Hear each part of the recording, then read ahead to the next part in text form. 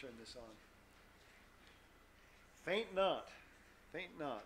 Now, physically, I don't want you to faint during the service, all right? We were, we were at a service where uh, the, pre, the speaker fainted.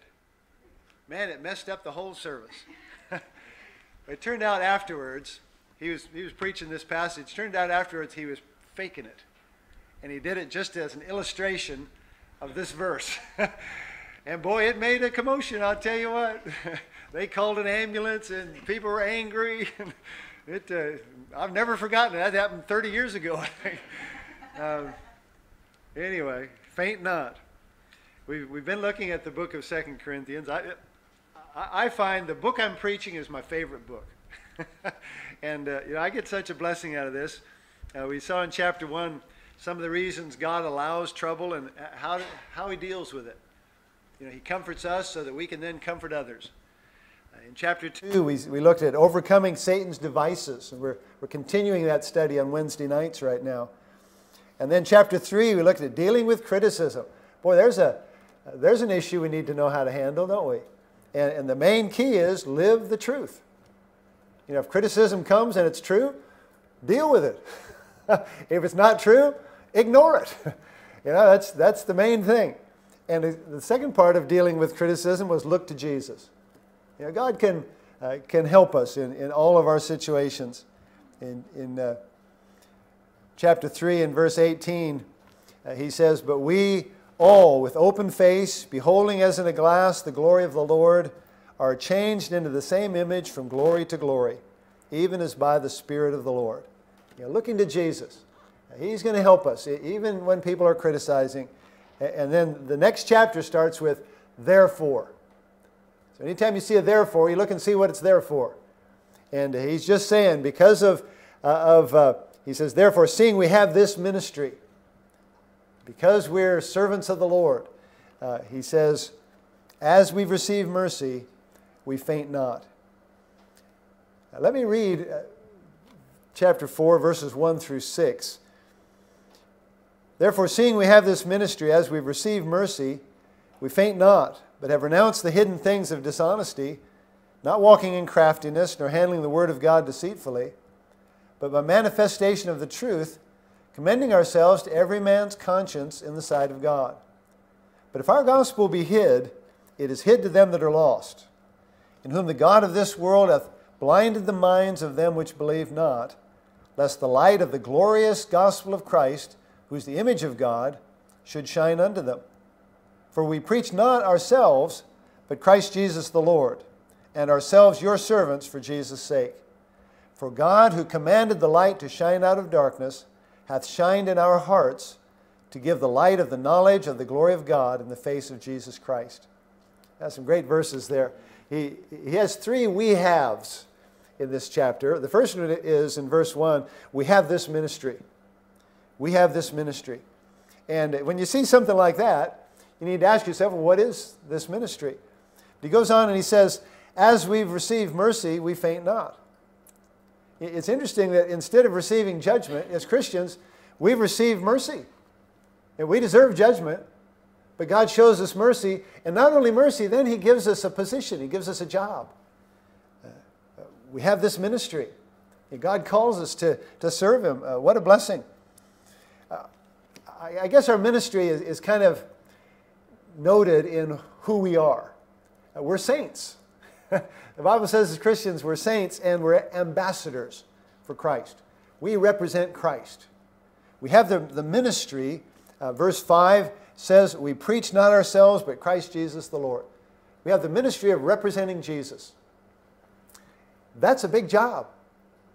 You know, if uh, someone was here representing the Queen, oh, we'd be all excited, you know. Uh, for the world, I don't, I don't know who it might be, but you know, some movie star or something, we'd, oh, the people would get all a flutter. We represent the Lord. That's a big job. It's an important job. We have this ministry. Um, back in chapter 3, verse 6, he said, who, hath, who also hath made us able ministers of the New Testament. We have the ministry of presenting God's Word. We preach Christ. We're, we're disciples. And one of the ways we do that, he says there in verse 2, uh, the negative is, he says, we don't do it by handling the Word of God deceitfully, but by manifestation of the truth, commending ourselves to every man's conscience in the sight of God. Uh, we preach Christ by preaching the truth. Uh, we don't have to use tricks. And we appeal to people's conscience by using the truth. Now, that's really important. It's not, I hate to tell you this, but you're not the Holy Spirit. Okay? Sorry. Neither am I. The Holy Spirit is the Holy Spirit. Let the Holy Spirit hit people's conscience. You don't have to, you know, I go like this because that's what we do. You, you know, we get after people. We want to hit their conscience. And for some reason, we think this finger will do it, you know? but that's not the Holy Spirit. And if we'll use God's Word, and if we'll use the truth, God's Holy Spirit will hit people's conscience. Now, some of you have seen the, uh, the films where where the man goes out in public and he, he asks people about the Ten Commandments. What's his name? Uh, Ray Comfort. He'll ask people about the Ten Commandments. And then he'll get specific. Well, uh, you, you, know, have you, have you kept them? And boy, you just see their faces fall as, they, as the Word of God hits their conscience. Most people start off saying, Yeah, I've, I've been pretty good. But as he goes through the Ten Commandments, man, they've lied, they've cheated, they've stolen, most of them have committed adultery. I mean, they've broken all of them. And, uh, you know, their faces just fall as God's word hits their conscience.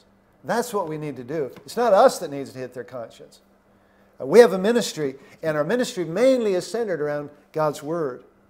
In verse 4, he, our ministry involves presenting the gospel. We have the light. And the way to get rid of darkness is just to shine the light. we don't have to scoop the darkness away. Uh, we just shine the light of, of the gospel. And he calls it there the glorious gospel. It's wonderful. Uh, verse 6 uh, we, we preach Christ by just bringing them to Jesus, uh, to give the light of the knowledge of the glory of God in the face of Jesus Christ. He says, We have this ministry, preaching Christ. And this ministry, this glorious ministry, will change us. If you'll let it, it'll change you. Number one, and that's, that's the title tonight it should keep us from quitting. When you see the importance of what God has called us to, being a Christian, representing Christ, that's an important thing. And he says, therefore, seeing we have this, uh, seeing we have this ministry, as we've received mercy, we faint not. This ministry should keep us from quitting. I heard of a, a preacher who was discouraged, and he was talking to another preacher, and he said, "You think I should just quit?" And the man said to him, Listen, the angels around the throne envy what you get to do. and it's true. Uh, you know, the angels God didn't call the angels to, to represent him, to preach the gospel. God called us. It's, a, it's an amazing thing. We have, this, we have this ministry. It should keep us from quitting. Secondly, it should keep us from deceiving. Now, listen, Satan is the deceiver. Uh, verse 2 we've, we've renounced the hidden things of dishonesty, not walking in craftiness, nor handling the word of God deceitfully. Listen, Satan is the great deceiver. Let me tell you why. What he's offering is death. he can't go up and say, Listen, you follow me, I'll, I'll kill you and send you to hell. he's got to deceive people. He's got to make them think there's something good about what he has to offer. He's, he's like the hook and the bait. Oh, come on, take a bite, take a bite. he wants you to see the bait and not the hook. We don't have to do that. We have the truth. We can just present the, the very truth of, of, of God's Word, the light, the glorious gospel. We offer life. He has to use tricks. We don't. There's no trick to talking to people about the Lord. We just need to get them to God's Word. Get them to God's Word. The glorious gospel. You know, religion says do, do. Keep doing it. God says, done. And what a blessing. You know, Jesus has done it all. And we, there's nothing we have to do to work salvation's plan. It's done. And we don't have to deceive people. Thirdly, one of the ways this, this ministry changes us is it should keep us from promoting self. And we live in a world of people promoting self. Verses 5 and 6, uh, he says, We preach not ourselves, but Christ Jesus the Lord. Listen, we're not the message. People don't have to see us. Now, your testimony will, will make a difference. Don't, don't misunderstand that. Uh, there's people who'll see, oh, something going on there, and they'll, they'll want to know our, our Lord. But we're not the message. Uh, earlier in chapter 1, verse 9, he said, We had the sentence of death in ourselves that we should not trust in ourselves, but in God which raiseth the dead. In chapter 3, verse 1, he said, Do we begin again to commend ourselves? Uh, the important thing is not you or me, it's the Lord. That's the ministry we have. In, in verse 6, I love the way he puts this here God, who commanded the light to shine out of darkness, hath shined in our hearts to give the light of the knowledge of the glory of God in the face of Jesus Christ. You hear those, those last few words? What we're trying to get people to do is to look into the face of Jesus Christ. That's what we want to happen. And if they'll meet Jesus, they'll love him. He's a wonderful Savior. Eh, you know, the devil tricks him. He, he doesn't want him to look, he doesn't want the light to shine. But we don't have to be like that. In chapter 3 and, and verse 18, it says, We all with open face, beholding as in a glass the glory of the Lord.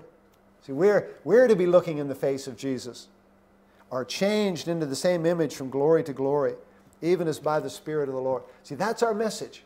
As we look to Jesus, as through His Word we look into His face, that's what we then can share with others. We can share Christ, we can share His Word. Uh, the, the devil says, Oh, don't shine the light. Oh, they don't want to talk about Jesus. But we have this ministry, we have the glorious gospel. Uh, we, present, we present Christ. The second we have is there in verse 7. But we have this treasure in earthen vessels, that the excellency of the power may be of God and not of us. We have this treasure in earthen vessels. Uh, there's a couple of things there. One, we're earthen vessels. We're not Superman, all right? Uh, that doesn't say that, but uh, that, that's, that's what it means. Uh, we're just the container. We're just a vessel. And he even, he doesn't even say aluminium or gold or, he says earth, dirt. Uh, we're earthen vessels. And we're going to experience trouble. Look at the next few verses. Let me read verse 7 again. But we have this treasure in earthen vessels, that the excellency of the power may be of God and not of us. We are troubled on every side, yet not distressed. We are perplexed. Man, you, have been there. We don't know what's going on. We just have to say, well, I guess in heaven I'll understand. But not in despair. Persecuted, but not forsaken. Cast down, but not destroyed. Always bearing about in the body the dying of the Lord Jesus, that the life also of Jesus might be made manifest in our body. For we which live are always delivered unto death for Jesus' sake, that the life also of Jesus might be made manifest in our mortal flesh. Uh, we're going to experience trouble. And one of the things that people need to see when we go through trouble, they need to see Jesus in us. Now, one, there's a couple things here. Keep your focus right. Re- remember, we do have a treasure. All right? We do have a treasure. So focus on the treasure, not on the container. You understand what I'm saying? Focus on the content, not the package. Now, the devil is a deceiver. He wants you to focus on the package. Oh, there's a crack in the package. Oh, it's, having, it's stained. It's having trouble, the package. But we have a treasure in that package. That's the key. Keep your focus on the treasure, not the container. See, our importance, our usefulness is not us, it's what we contain. I, I like to illustrate this with uh, dishes and a meal. Now, I know what I'm looking for when I go for a meal. It's a good plate, right? no, you know me, you know men. We don't care what kind of plate you put on. Put it on a paper plate for all we care. Put it on a banana leaf. We had one meal in Singapore was on a banana leaf. And you throw it away when you're done, you know? That's just the container. The important thing's the meal. But you know, I've noticed something about the container that I do value. I want it available and clean. When I want to eat, I want a plate, you know. I don't want to open the dishwasher and say, are these clean, you know. Uh, I want a clean plate. And that's us. We need to be available and clean. That's our importance. But we're not the preeminent part. The Bible says that in all things He might have the preeminence. We need to keep our focus on the treasure, not the container. Our part is just to stay clean and available. The second thing I would say about this is focus on the master and not the servant. In this relationship, uh, we have this, uh, this treasure in earthen vessels. It's a master servant relationship. He's the treasure, uh, we're the earthen vessels. Um, the, the Bible says in Colossians 1 Christ in you, the hope of glory. He's the important part of this relationship. Look at verse 10 there. Verse 10 and 11 are not easy verses, but uh, he says, Always bearing about in the body the dying of the Lord Jesus, that the life also of Jesus might be made manifest in our body. And when he talks about this trouble that we go through, some of the trouble you'll go through will be because you're a Christian. Paul certainly was. He was in prison many times because he was a Christian. Uh, you can have persecution because of being a Christian. And he says, We bear his death that we might show his life. You know, the trouble we go through, really, it's an opportunity to show the life of Christ, the fruit of the Spirit. You know, if, if as a Christian you're persecuted and you swear at them, that's not going to show the life of Christ. But if you pray for them, like Jesus said, pray for them that, what's the word, despitefully use you. Uh, you know, that, that's, that's being like Christ. Anybody can like someone who's nice to them. But Christ loved those who were his enemies, us. And we can be like Jesus. We can focus on the master, not on the servant. Verse 11, he says, For we which live are always delivered unto death for Jesus' sake that the life also of Jesus might be made manifest in our mortal flesh. Again, very similar. Uh, we're going through these troubles, and it can be a, a message to the world. He uses the word there, manifest. Uh, Jesus is manifest in our, our mortal flesh. Uh, it's our responses to troubles that will bring glory to Jesus. You know, there's, there's people now who preach all this, you know, wealth and happiness and you know, all that stuff. Um, and, and, that's fine. I don't mind being, I wouldn't mind being wealthy and happy and all those things. But listen, that's not necessarily the testimony that God is going to give me. Know, we're going to go through things. I'm amazed all the things our, our little church is going through, different individuals. And listen, we need to grab hold of these verses and live them. Uh, we need to let God use them for good. Don't focus on the container, focus on the treasure what God is, is doing. Verse 12, I think, is a really interesting verse. He says, So then death worketh in us, but life in you. And what I think he's saying there is that for them to get the gospel, he had to risk death. You know, death, eh, you read all the suffering Paul went through. For him to take the gospel to the people at Corinth, man, he, his life was on the line. And eventually it cost him his life. Death worketh in us, but life in you it made me think, well, can anyone say that about me? can anyone say that about you? You know, uh, what, what have you uh, risked uh, to take the gospel to others? Uh, but we need to be encouraged. Even though we have a difficult ministry, it's a great ministry. It's a great ministry. And we have a treasure to use. We have a treasure to offer. But the third thing, we also have a helper. Verse 13 we having the same spirit of faith, according as it is written, I believed and therefore have I spoken, we also believe and therefore speak, knowing that he which raised up the Lord Jesus shall raise up us also by Jesus and shall present us with you. So we have three we haves. Uh, we have this ministry. Uh, we have this treasure in earthen vessels. The third one there, verse 13, we having the same spirit of faith. Same as who? Same as Jesus. That's what he's saying there in verse 14. he which raised up the Lord Jesus shall raise up us also by Jesus. The same spirit of faith that raised Jesus is the Holy Spirit. Same Holy Spirit. Uh, there's a couple of verses in, in Romans I wanted to read here. Uh, Romans 8, verse 16 through 18. he says, The Spirit itself beareth witness with our spirit that we are the children of God. And if children, then heirs, heirs of God and joint heirs with Christ, if so be that we suffer with him, that we may be also glorified together. For I reckon that the sufferings of this present time are not worthy to be compared with the glory which shall be revealed in us. What a great verse.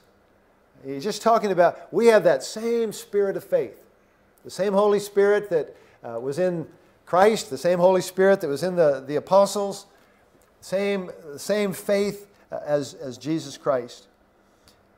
Joint heirs. You know, the Holy Spirit can help us. The Holy Spirit can produce His fruit in us. Uh, we should have a confident faith. Let me show you some things here. Verse 14, he says that we're sure of victory knowing that he which raised up the Lord Jesus shall raise up us also by Jesus and shall present us with you. Uh, we have the victory.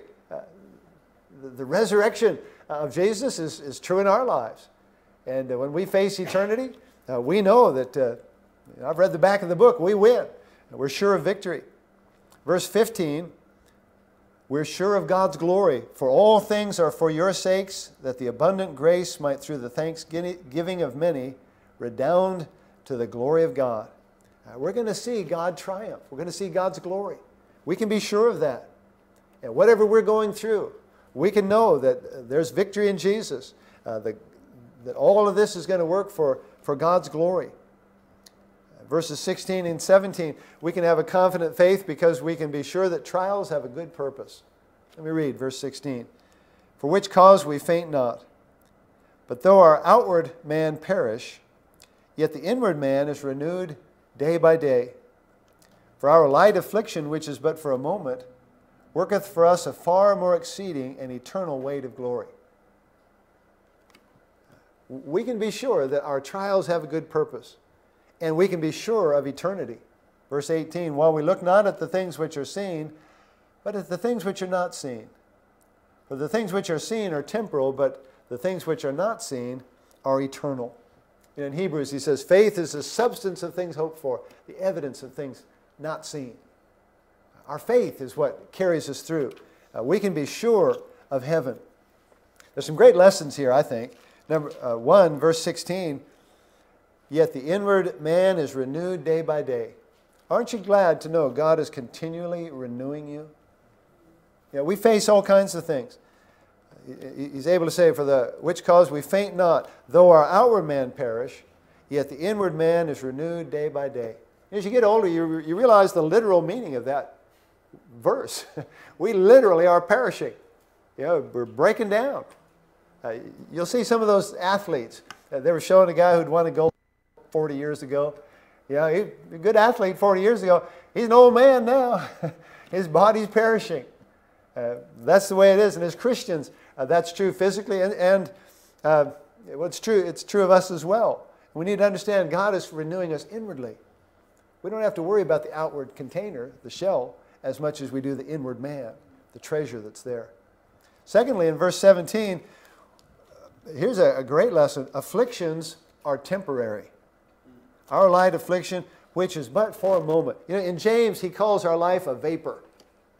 You had a cup of tea lately and put the kettle on, you know, and the, the steam comes up, and where does it go? You know, who knows? Uh, it just disappears. Uh, he said that's, that's where life is. Our life is just so short compared to eternity. And if we have a, a godly value system, you know, if we were thinking about eternity, we'll realize, hey, this, this won't be for long. You know, if it's 10 years, 20 years, 30 years, that's still not going to be very long in light of eternity. You read through the book of Acts, and you'll see places where it'll say it'll just be in a line, and, and Paul was in that prison two years. Two years. Man, that would be a long time for me, I would think. But boy, it's just one line in Scripture, and he was just willing to serve the Lord in that way. Whatever he was doing, you know, doesn't even tell us. Uh, but afflictions are, are temporary. A good way to view it is that your life is a seed planted for God. You take a seed, stick that thing in the dirt, you know, from the seed's point of view, that's not a very nice thing to do. And in a sense, that seed is going to die. It's going to quit existing as a seed. Oh, and become this beautiful plant. you know, that's what we are. Uh, our life is a seed to be planted for God. He brings life out of death. And really, this is, this is a real key point here tonight. Uh, most of our inner turmoil, uh, most of our trouble, most of our stress comes from living for the temporary. You know, if you value, if you highly value the container, if you highly value the situation rather than eternity, man, you can have amazing stress. We've all experienced it. Uh, you know, you decide, I've got to get this done in six weeks.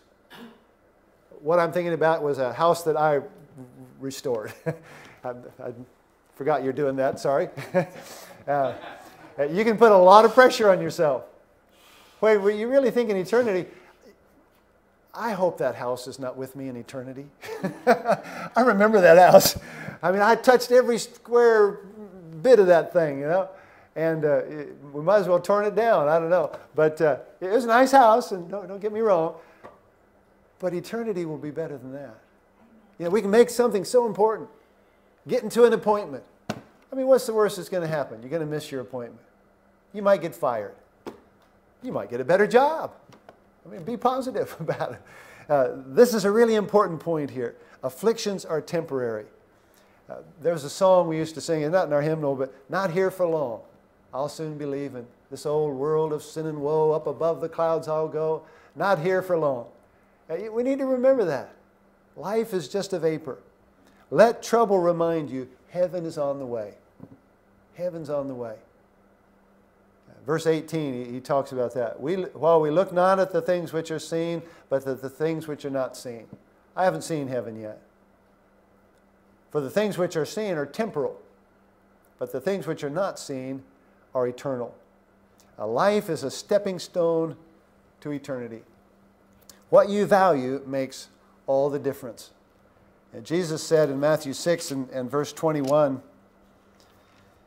Where your treasure is, there will your heart be also. Such an important statement. What we value. I remember when we uh, moved into one house, I, I don't remember why, but uh, the curtains were up. My wife didn't care about them, didn't want them. So I used them for drop cloths. Well, one of the church ladies came by and, oh, she was just horrified. Oh, those curtains. Oh, you've ruined the curtains. uh, we had a different value system. Now, I, am not saying whether curtains are valuable or not, but uh, in life, how you value something makes so much difference. And if we have eternal values, it will make such a difference in the stresses and strains of life. Listen, we won't be here for long. Uh, Jesus made a, a strange and interesting statement in Luke 14. We've read this several times lately. But he talks about hating when he says, if any man come to me and hate not his father and mother and wife and children and brethren and sisters, yea, and his own life also, he cannot be my disciple. Now he's talking there about what we value. We need to value him more than others, more than ourselves. He cannot be my disciple. And whosoever doth not bear his cross and come after me cannot be my disciple. Listen, if you value your life, you may be upset in the ways God will use you. You might think you're a glorious curtain, and God will say, This will make a good drop cloth for your life. Uh, you know, what did the psalmist say? I'd rather be a doorkeeper in the house of the Lord. You know, whatever the Lord wants for us really is what we should be willing to do. Now, there's things in life that are easy to say, hard to do. You know, it's easy to say, Lord, I'll be your servant until someone treats you like a servant. We need to be careful with what our values are. We have a treasure. It's not us, it's the Lord. Now, to Him, we're, we're a treasure in that sense. But as Christians, we're not poor in Christ. We have Christ. We have the Holy Spirit. We have the gospel. We have victory. We have heaven. We have glory. you go on and on, couldn't you? All the treasures that we have in Him. I love how he puts it in 2 Corinthians 4, verse 7. We have this treasure in earthen vessels that the excellency of the power may be of God. We have an excellent treasure. this is not just any treasure. Uh, in verse 17, he says, Our light affliction, which is but for a moment, worketh for us a far more exceeding. We have an exceeding treasure and eternal weight of glory. We have an eternal treasure. Man, that's better than any treasure you'll get here on earth. You know, some of these, these people, they, they work so hard, they win a gold medal, Commonwealth Games, Olympics, whatever. Uh, I remember one guy had to sell it to, to make money. Another guy, he got so upset with something, he threw it in the river. uh, you know, that's not an eternal glory. That's not an eternal treasure. It's not a, an excellent or an exceeding one. The Bible says, don't faint. Therefore, seeing we have this ministry, as, we, as we've received mercy, we faint not. We have a job to do. We have a valuable treasure. We have the same spirit of faith, same as Jesus, same Holy Spirit. And he says in 2 Corinthians 2:14 that he always causeth us to triumph in Christ and make manifest the savor of his knowledge by us in, in every place. Uh, there's encouragement in the Lord. Uh, God has given us uh, his treasure, the Lord Jesus Christ, that we might be saved. Uh, God has valued, has given us value by who we can contain in the Lord Jesus Christ. Let me encourage you. Uh, life is tough. and as you go on, I'm sorry to report this, but it, it can get tougher. But it's, it's not for long. It's not permanent. God goes with us. God has a, a good purpose. And if we'll view the eternal, it can make all the difference. If we'll have eternal values, it can make such a difference uh, in our life. Who knows what might be ahead in the days and months and years to come. We've certainly been through things we never expected. I know I have. Many of you have. But you know, the Lord can see you through, and the Lord can use it for good. The, the problem is getting self, getting myself out of the way so that God can, can do something. Uh, God always has a good purpose. And uh, just look for what, what God is doing. Let me encourage you tonight. Uh, these are encouraging words. We have this ministry, we have this treasure, and we have the same spirit of faith. God's Holy Spirit can help us through. Uh, I thought we'd finish tonight by singing page 341 Victory in Jesus. Page 341. Let's uh, take our songbooks. And uh, Azrael, you come and, and lead us. Maybe a first and last verse. Let's sing.